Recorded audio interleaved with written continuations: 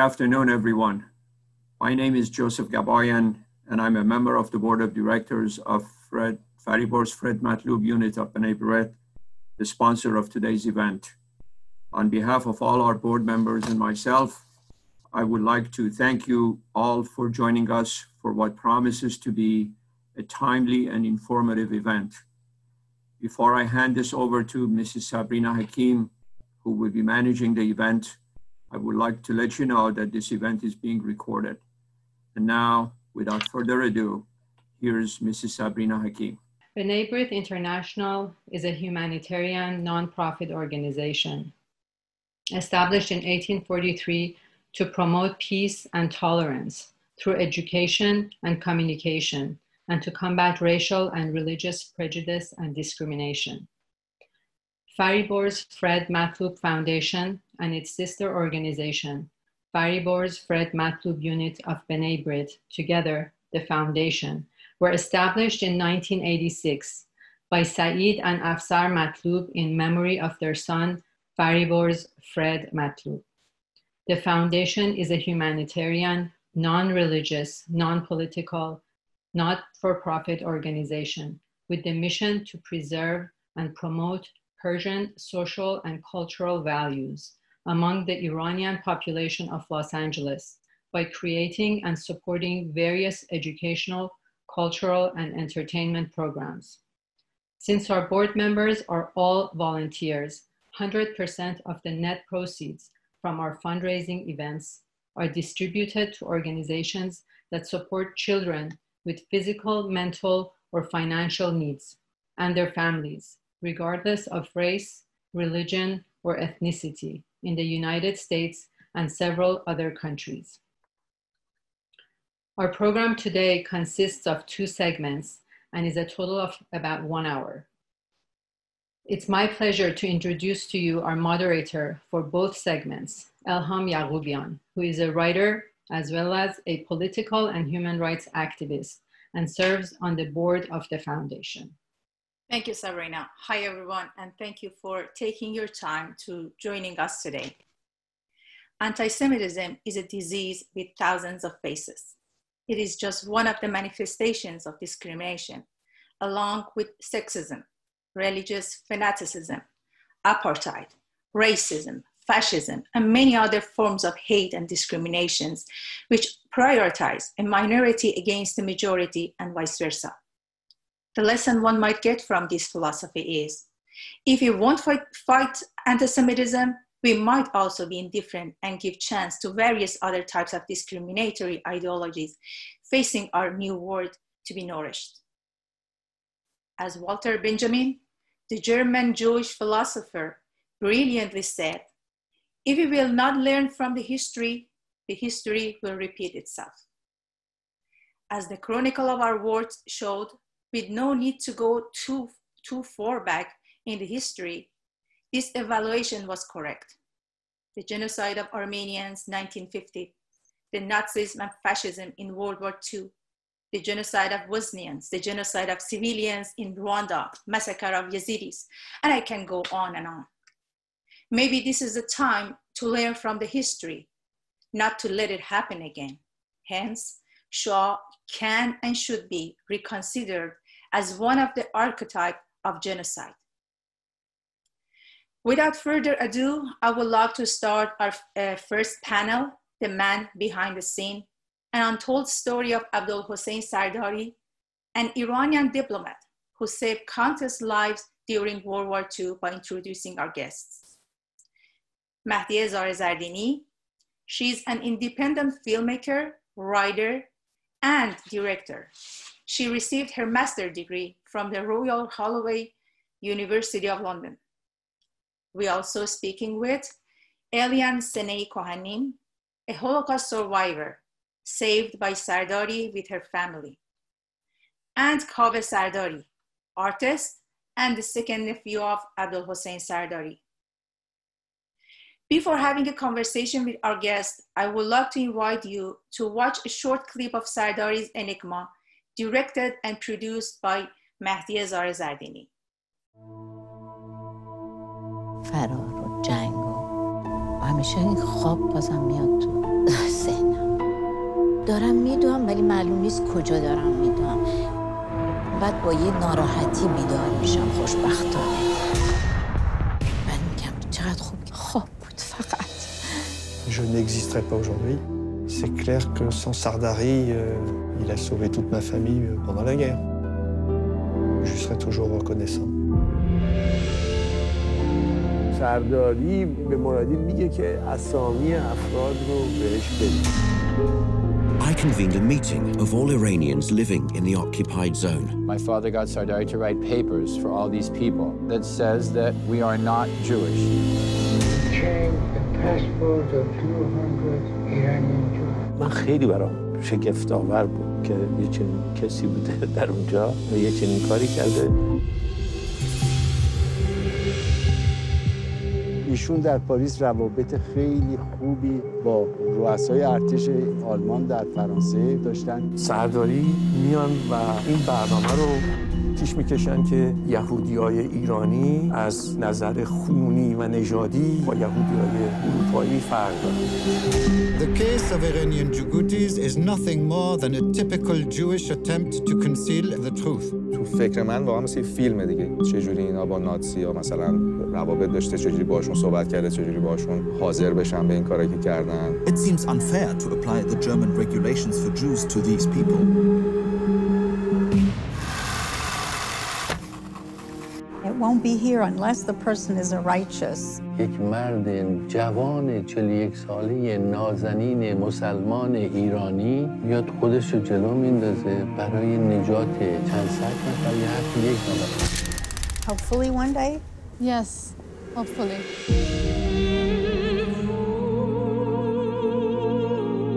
In our Torah, it says, when you do something big for someone, you make believe it's little. And when someone does something little for you, you make believe it's big.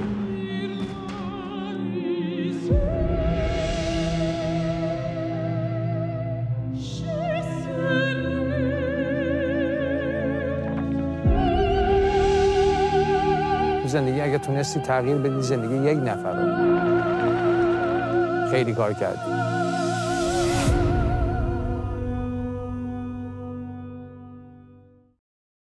Impressive, Mahdieh. I can't wait to see the whole film. Thank you. Uh, what inspired you and what motivated you to initiate uh, this documentary? Uh, what was your incentives? Thank you for having me today. Uh, well, basically, it all began when uh, I met Scarlett Epson, who was a Holocaust survivor from Austria. Uh, she became to recollect her memory to me of how she could uh, manage to escape from Austria to England at the age of 15 with her mom. I was fascinated by her story and I started to make a documentary out of her story. Uh, hearing Scarlett's story encouraged me to educate myself about World War II, and it was during my research where I realized about Abdol Hossein Sardari, who, regardless of any religion or nationality, creatively saved many lives in Paris. I started digging into Sardari's personal and also professional life. Uh, that took me to the Holocaust Museum in Washington, D.C., where I realized that there is a list called Righteous Among the Nations that appreciate non Jewish people who saved lives during the war. Surprisingly, I didn't see the name of Sardari in there, citing lack of sufficient evidence.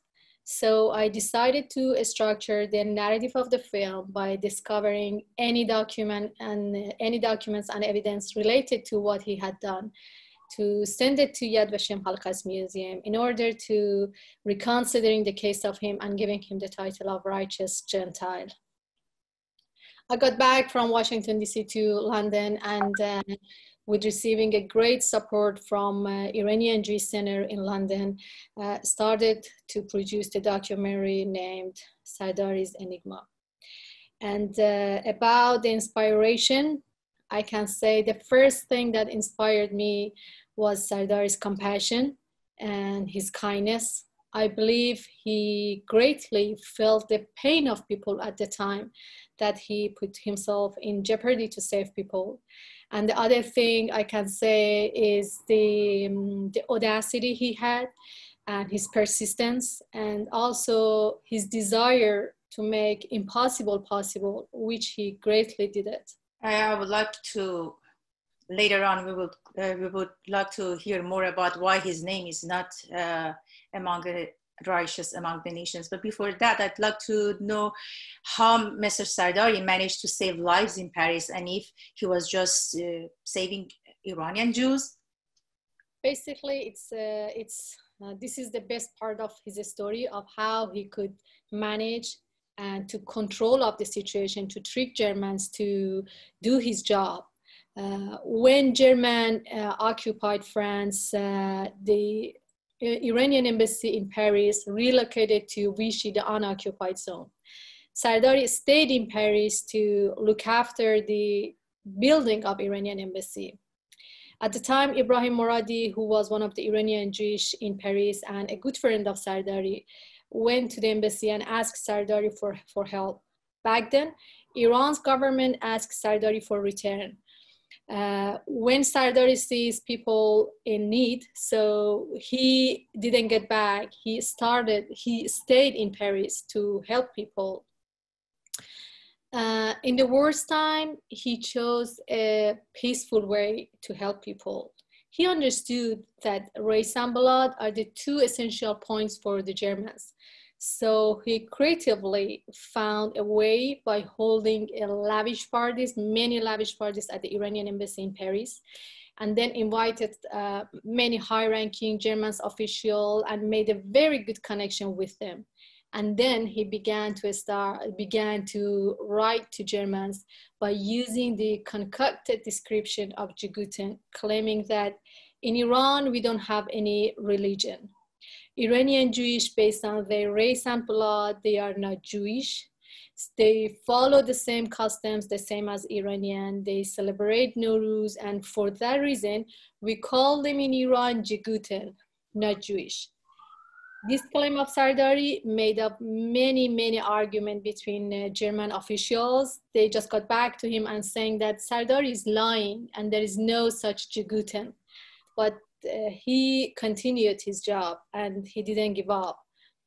And um, the other question you asked about the non-Iranian Jewish people, yes, we have uh, some, we can see some non-Iranian names in his list such as uh, Victoria Moradi, who was a British citizen, or Nakash family. Nakash family moved from Damascus to Paris before the war. Uh, when German occupied France, they just asked Sardari for help. Sardari issued some document for them claiming that they are Je Guten, they are not Jewish. And with those documents, they could stay in Paris safely. And uh, if just German knocked the door, they're just showing documents saying that we are Je we are not Jewish and they could be there, stay there safely.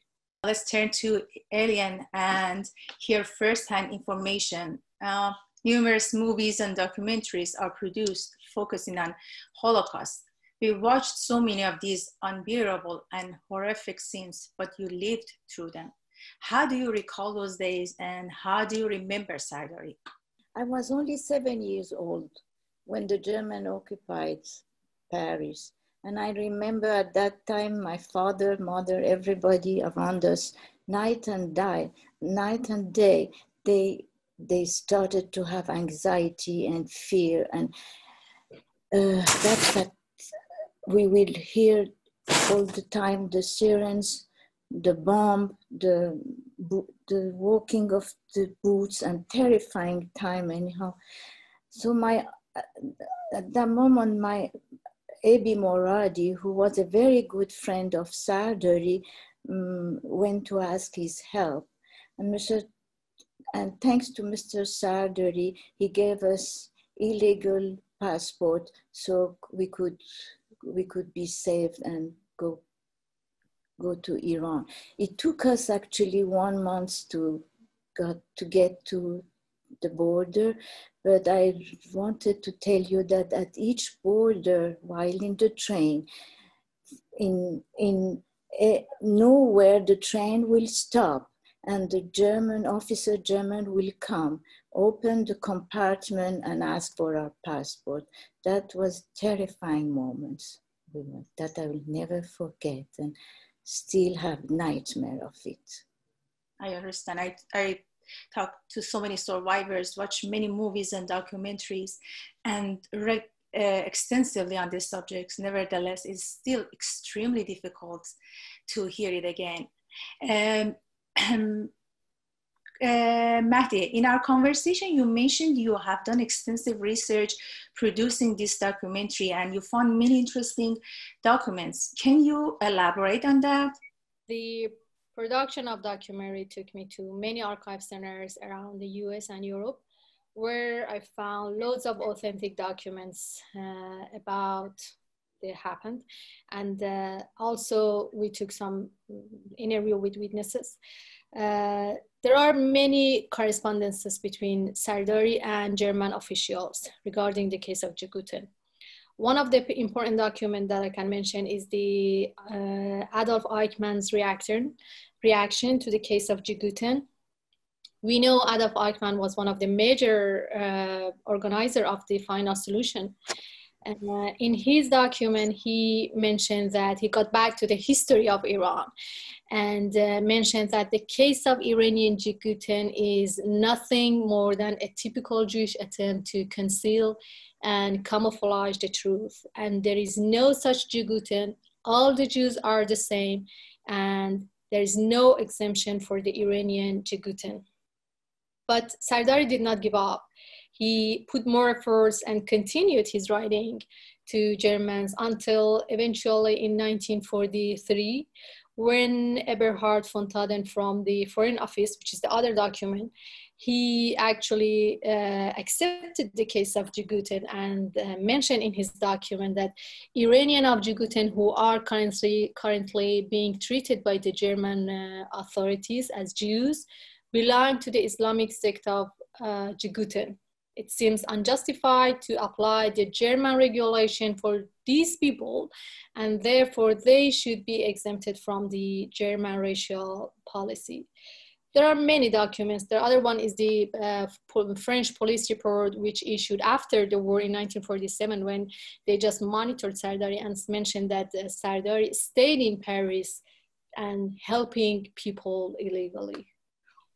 Kaveh, despite all his heroic action, he was charged by the Iranian government of the time for issuing passport during the World War II and later after the Islamic Revolution in 1979. All his belongings were confiscated by the Islamic government. As one of his family members, uh, what can you tell us about uh, his last years in, uh, yes, in uh, you know, London and how he was coping with the situation? Thank you very much. Uh, first, I want to thank everyone who's uh, tuned in. And I particularly want to thank Mahdieh for uh, making this documentary. It's a stunning visual account of uh, my great uncle's life. And um, I hope you all get to see the, the film. Um, and I know she's working hard on, on getting it released. Uh, Mr. Sardari, in his final days, um, was alone. He was, I imagine, he was afraid. Um, everything that happened in Iran with uh, the execution of his um, uh, nephew Amir Abbas Hoveyda um, kind of gave rise to his paranoia and um, his, in general, his state of mind, uh, depression and um, isolation. And uh, sadly, there was, uh, other than one cousin who lived in England at the time, uh, the, our family, my parents were still in Iran. Uh, I was here in the States with my sister. Um, and he had no access to um, any kind of support from family or close friends. Uh, I imagine um, must have been just terrifying for him, uh, not thinking that he, he won't be able to come back to Iran or that um, he could be he, he, could be chased or or uh, or found or uh, anyway. yeah thank you. Thank you for sharing I, I also want to add i just i i got extremely emotional just watching that that first piece of Mahdieh's film because it brought back back so many memories not only visually Um, but because uh, when I met her first uh, years ago here in Washington, and she told me about the project, um, it took me back to trying to figure out who in the family could be helpful, uh, who's still left, who would have memories of Mr. Sardari, um, and uh, who could tell the story and the facts. So. Uh, that's sad. We have to admit the turn of nature is not always just. Uh, Eliane, do you did you or your family make any attempt to meet or contact Sardari after the war? Unfortunately, no. I didn't have the chance to meet him, but uh, few years later, my husband, while he was in his office, he was introduced to Mr. Sardari, and uh, my husband did and thanked him and said that he had saved our life and all our family, as well as as the, as all my grandparents and everybody that that had stayed uh, stayed in France that had no problem whatever yeah, he did. My husband could at least see him and thank him for all he has done for us. Mahdieh, let me go back to you. Uh, you mentioned something about uh, his name not in the righteous among the nations. Do you know why his name is not in the list? And do you have any update for us about uh, Yad Vashem?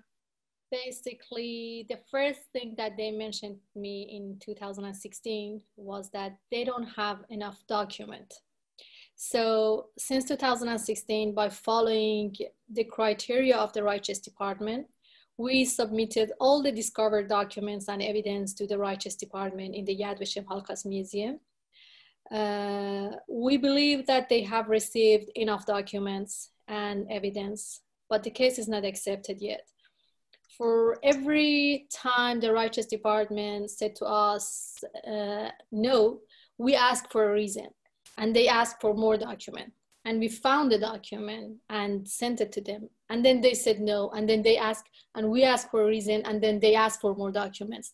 It's almost four years we have been uh, in contact with the yad vashem and working on Sardari's case.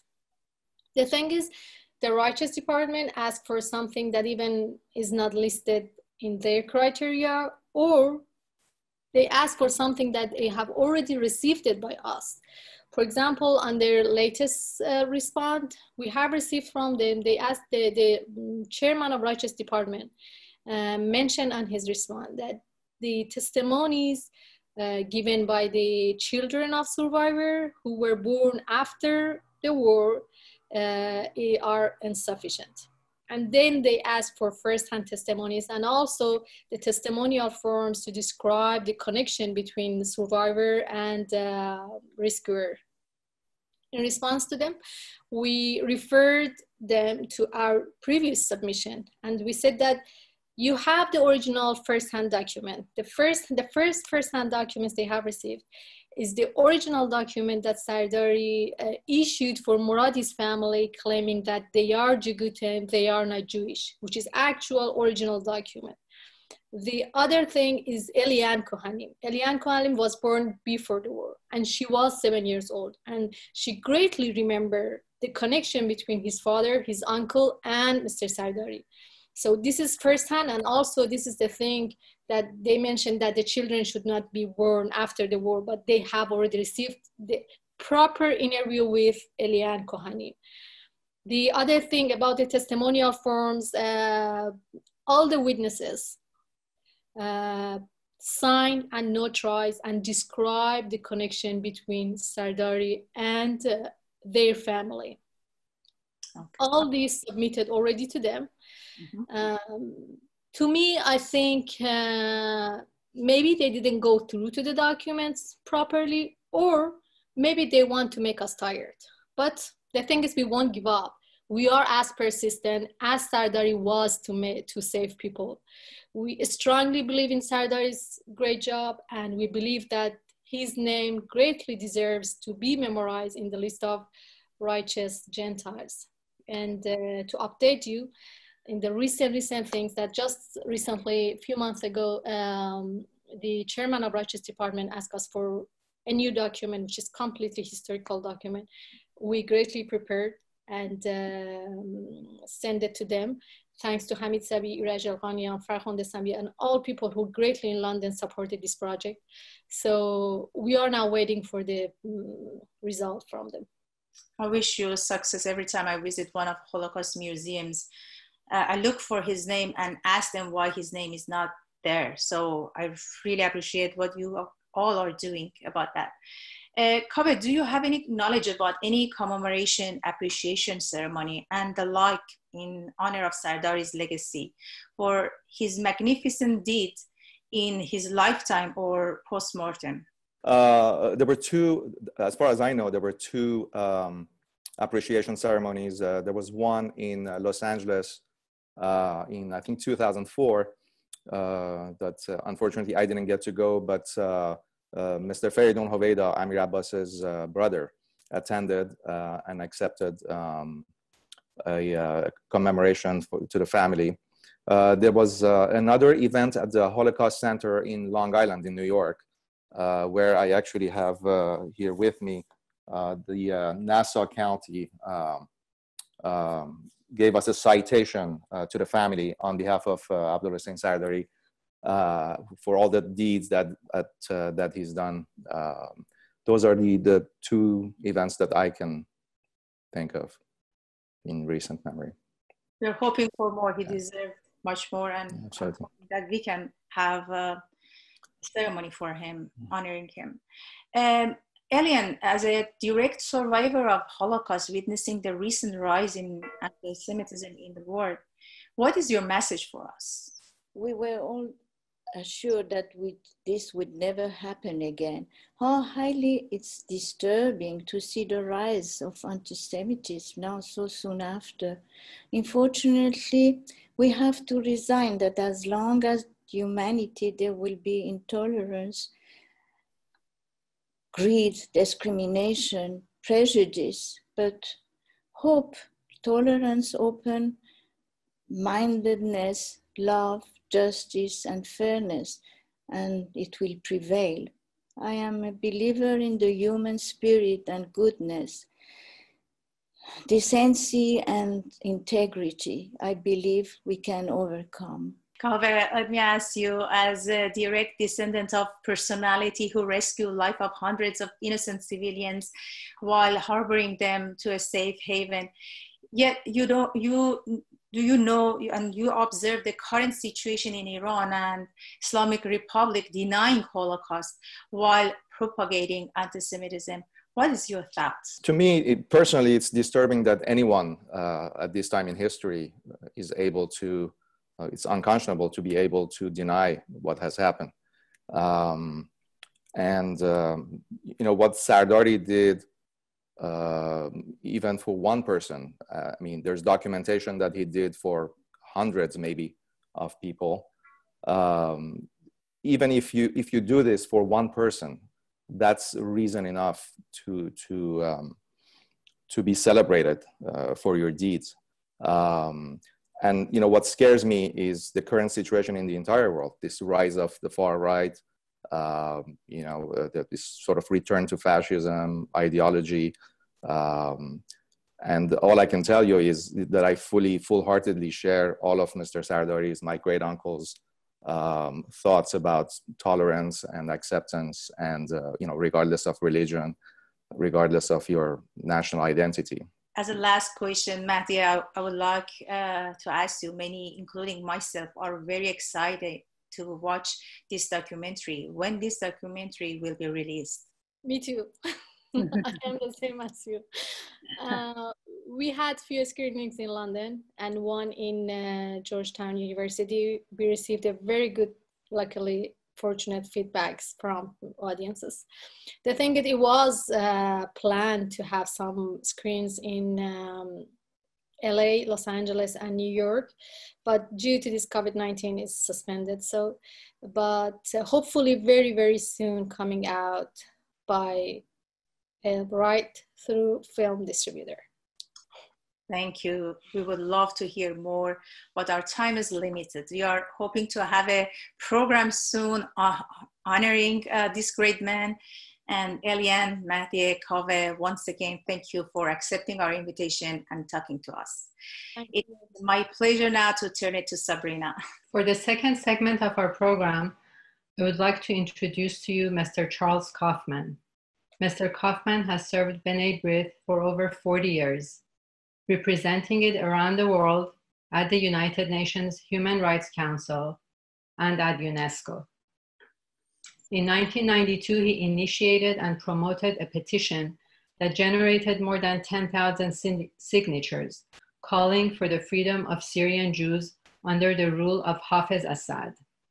Eventually, through collaboration of B'nai B'rith and other groups, thousands of Syrian Jews were able to leave Syria.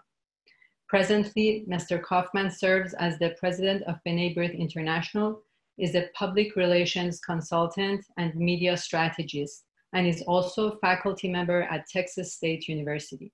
Welcome, Mr. Kaufman. It is uh, my great honor, first of all, to be with such distinguished panelists and, uh, and others today to discuss this most serious subject. It's a very broad topic with many dimensions, as we all know. Now, I don't have to tell this audience that anti Semitism is rising in the, in the United States. If you didn't know it when you saw the graffiti, Free Palestine, painted on the walls of a Fairfax synagogue, you know it now. If you didn't know it when Jewish students at UCLA or Stanford or UC Davis were challenged as student government candidates just because they were Jewish, you know it now. If you didn't know it, when students on those or other California campuses voted in favor of boycott, divestment, and sanctions measures against Israel, you know it now. If you didn't know Jewish groups such as Jewish Voice for Peace, IfNotNow, and J Street work against Israel's security, you know now. And just this week at UCLA, a student government vice president resigned her position merely because her passion for Israel as the homeland of the Jewish people got her branded as a racist. The false narratives and blood libels that led to such anti Semitism for millennia continue into the 21st century. These examples in California are being replicated in many states throughout the country. On campuses where you find Students for Justice in Palestine, you will find anti Zionist, anti Semitic behavior. These issues used to get little attention because they gained little traction. But with social media rage baiting, it is an online sport 24 hours a day. Anti Semitism is seven days a week. Social media is driven by baiting others to engage. Now, provocative discussion is used to generate such engagement. Thus, these issues can become as incendiary, incendiary as the annual fires in the hills of California. Such hatred is difficult to control, but less to, but less to eradicate. Social media allows Louis Farrakhan and Iran Supreme Leader Khomeini to spew hatred toward Jews or the genocide of Israel and the Jewish people. But it still, but it restricts tweets by the President of the United States. So let's shift from college campuses to the COVID 19 pandemic for a moment. It did not take long just as it did not take long for Jew haters, just as they reacted with the Black Plague and the Spanish flu and so many other pandemics over time, to blame Jews for being responsible for this pandemic. They blamed Jews, oddly enough, because they thought that the uh, pandemic would give them an opportunity to come up with a solution an immunization uh, solution and thus profit from it. Ah, yes, the profit motive. Theodore Herzl's aspirational vision for the Zionist movement is that it would quell anti Semitism. Now, despite the challenges of the neighborhood, we know this there is no safer place in the world for Jews than in Israel. Now, anti Semites have weaponized words against Israel and Jews in communities, on college campuses, in parliaments, and now even in Congress. How amazing it is that a world of 12 to 15 million people, depending on how one counts, fascinates the world in such a nefarious way. We have lived millennia in a world of blood libels and false narratives. We read about the events of Pittsburgh, Poway, Paris, and so many places in Europe, Latin America, and Australia, and increasingly in America. Now, many of you from the Persian community may know about the pogrom of the Jewish quarter in Shiraz, Iran, on October 30th, 1910. Shiraz was a flashpoint, as many of you know, for other pogroms before 1910. This incident occurred following accusations that Jews had ritually killed a Muslim girl. As a result, 12 Jews were killed, 50 were injured, and 6,000 Jews of Shiraz were robbed of their possessions. And while today we heard about the inspiring, truly heroic work of Ambassador Sardari, clearly a righteous among the nations, the surge of anti Semitism in the world is more than troubling. Maybe the blood libels and false narratives never left. The propaganda war rages online with a variety of content.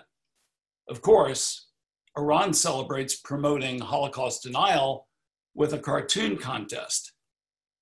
One of the most famous winning cartoons showed a vintage cash register decorated with the famous facade of Birkenau, ringing up sales of 6 million.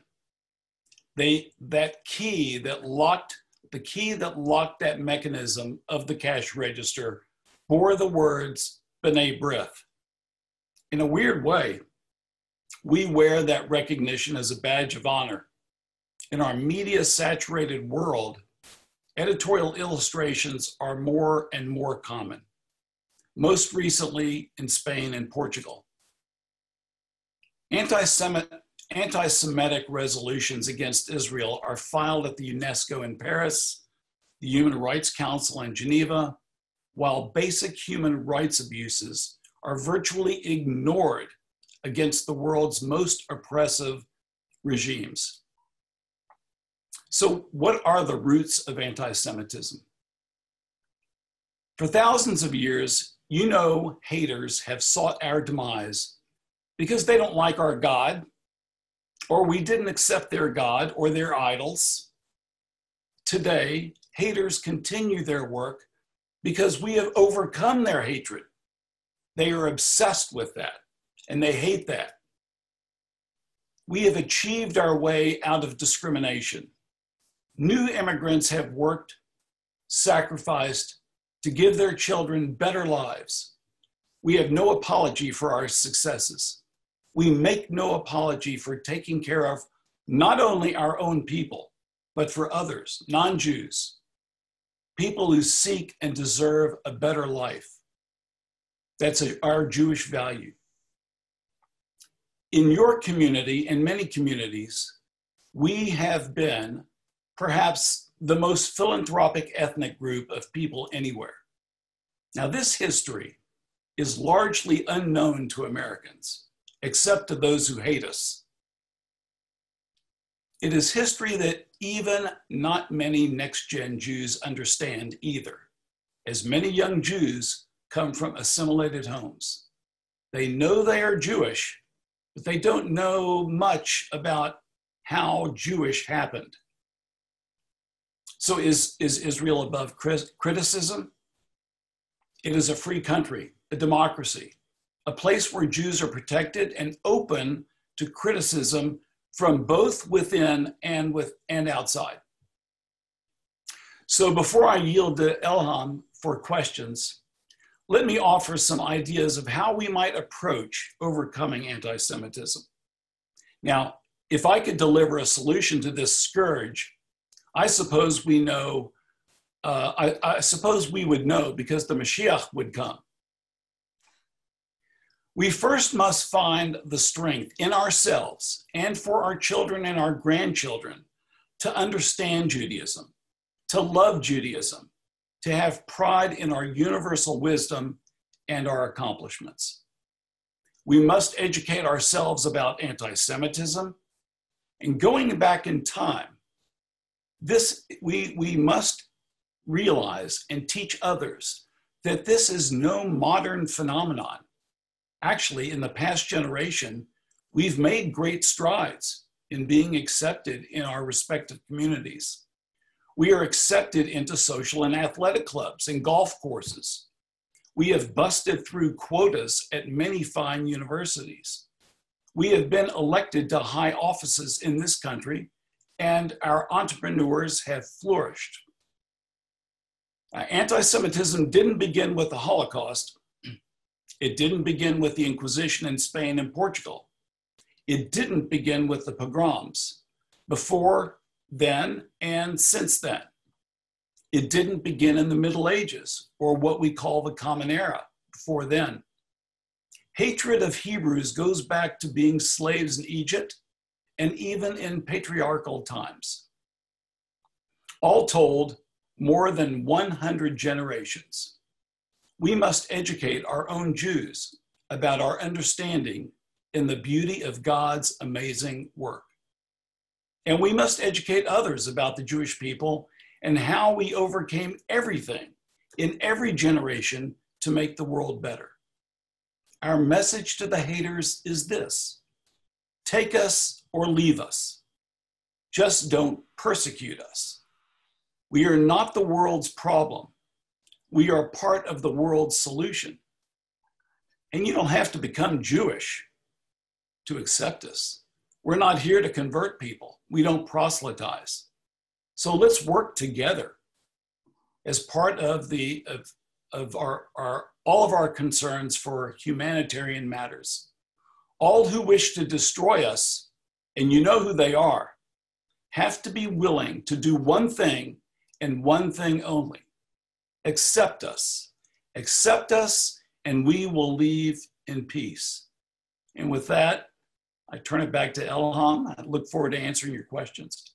Thank you. Thank you so much, uh, Mr. Kaufman, uh, for your informative and valuable remarks and elaborating on two spectrums of anti Semitism, both equally dangerous in your remarks, you mentioned individuals like Louis Farrakhan and others who overtly spew anti Semitic rem- remarks against Jews, and the others who demonstrate their hatred through the channel of anti Israel, respectively, anti Zionist rhetoric.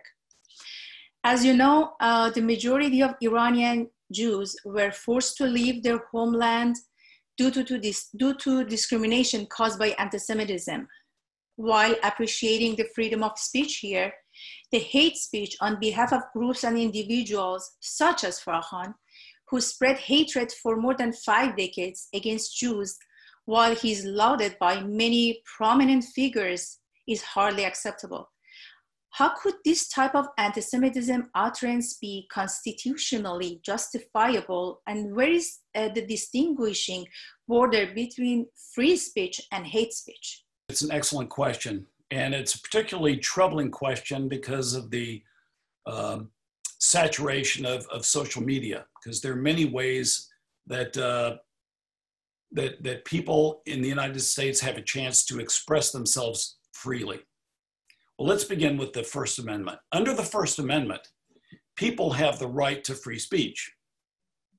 And free speech can be defined in many ways, but, but free speech that incites violence and crimes that trigger that are triggered by hate you know they have consequences uh, you can't yell fire in a movie theater so that standard inhibits even restricts that behavior Uh, we are witnessing this issue on social media in a tsunami of posts intended to create rage.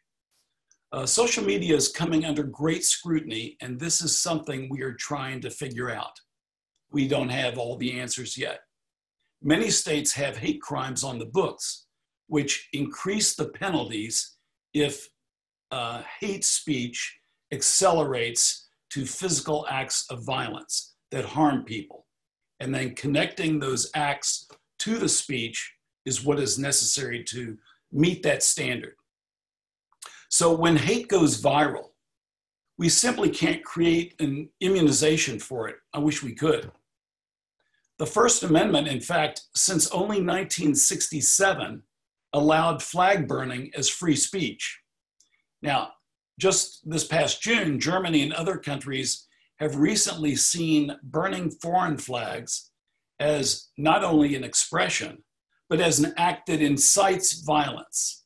And clearly, we see that here with uh, our social unrest going on in many cities in the country.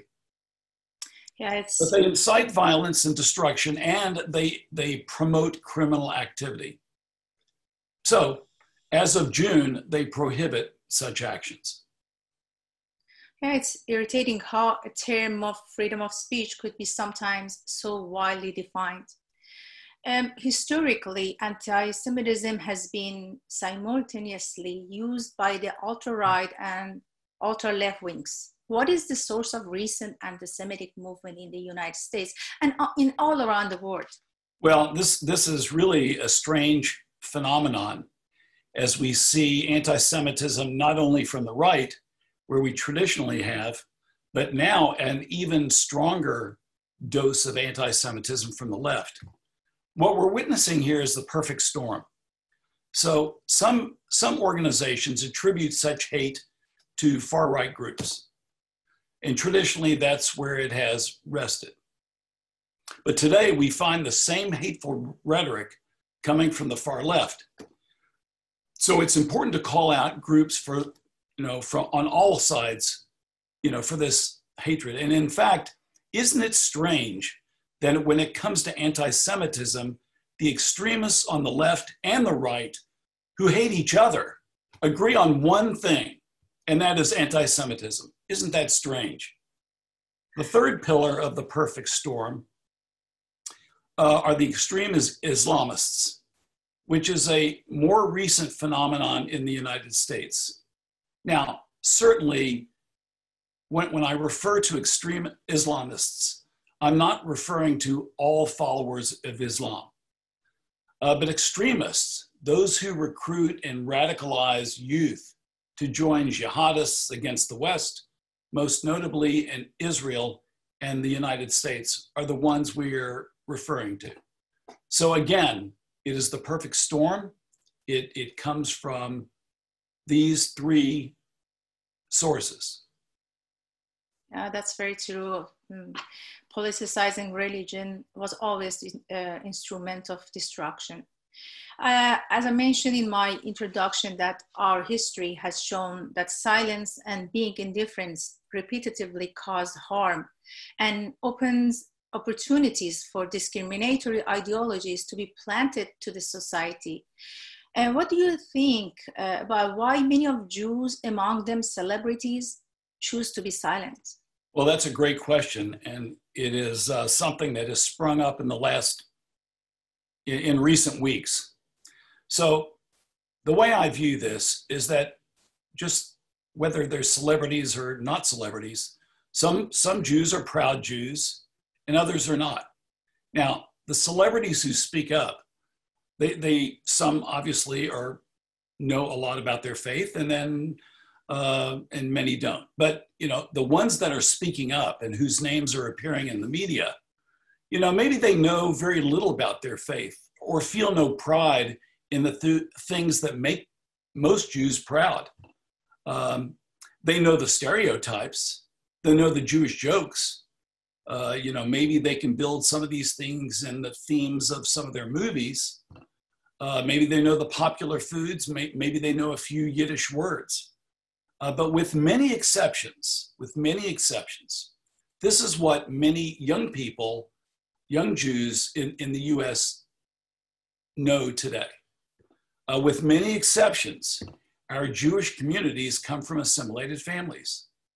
And again, with many exceptions, they many of them didn't go to Hebrew school, and maybe of them don't continue learning. They just don't. Uh, in fact, I would be willing to uh, bet that, that they can't even name the first prime minister of Israel. So I think their depth of knowledge on the modern state of Israel is a bit shallow. They just don't know. So it, it's, it boils down to ignorance. Now, what celebrities do know is that the media know they're Jewish, and so they ask questions about big, important issues to them. And they have no clue about the issues.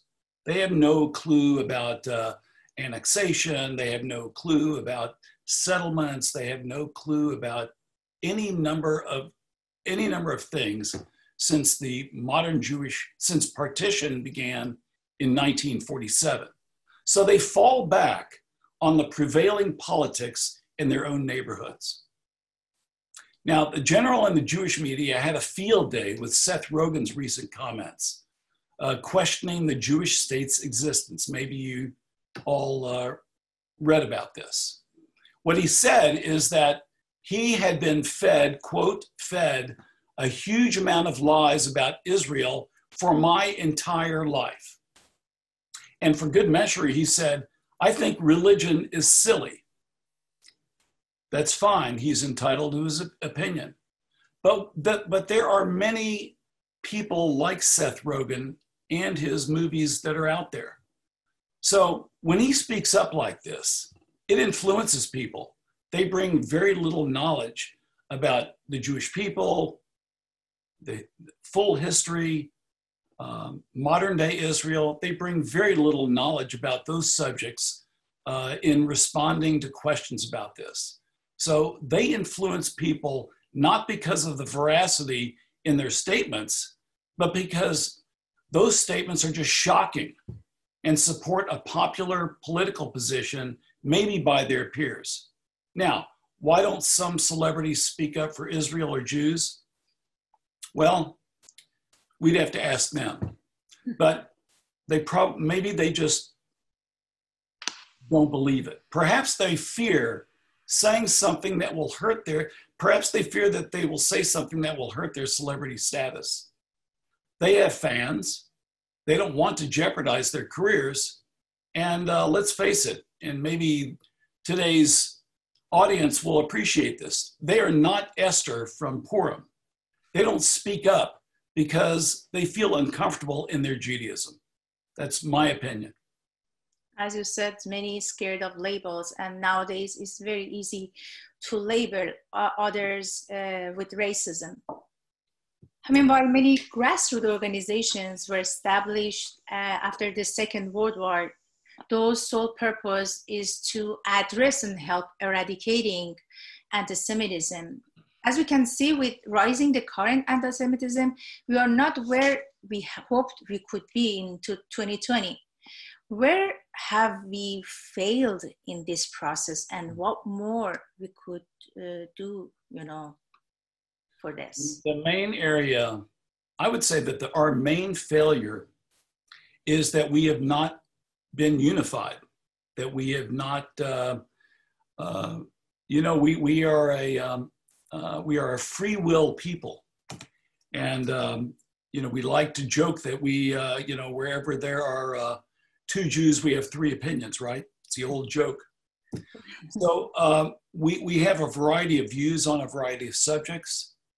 Um, and, and I think that uh, part of the answer lies in the fact that we're not united in working together as well as we could on many of these issues. So, you know, we, we in B'nai B'rith have been around since 1843. We, we confront anti-Semitism on all fronts. You know, I write letters apprising university presidents and others of, of what's going on on their campuses, what's coming up on their campuses. You know, we call out the perpetrators. We speak out at the UN, UNESCO, and the Human Rights Council You know, we criticize the propaganda publicly. It, specifically, uh, one of the things that we did at the at UNESCO is that we advocated the end of UNESCO sponsorship of the Aalst Festival in Belgium. Our public criticism of the propaganda exhibit promoting BDS at the Jewish Museum in Berlin led to a change in leadership at that institution. You know, we advocate for anti-BDS legislation in various states. We raise our voices, and we were one of the few Jewish organizations in 1945 in San Francisco when the UN was established. And we remain a uh, non-governmental organization, an NGO. So we're in European countries to influence governments to accept the definition of anti-Semitism, to put teeth in laws dealing with such hate. You know, we condemn, we condemn people, we express dismay and disappointment. Anyway, we have been doing this since 1843, and there are a lot of great organizations out there doing what we're doing as well. Um, we need to work more diligently uh, to speak as one voice. Uh, we are part of an organization of many of these organizations. It's called the Conference of Presidents. And uh, we do work closely on, on many, many things to educate ourselves to help fight anti-Semitism. Also, I did want to mention a couple of things that we are that we specifically are doing. We are currently promoting a video competition for high school and college students to produce messages about anti-Semitism. So the, the deadline is September 15th, and uh, the, the, competition carries cash prizes. So if you in, uh, in the uh, uh, neighborhood of Hollywood and in fine, fil fine film schools know students who are aspiring to uh, become filmmakers and documentarians, we would invite them to enter into this competition.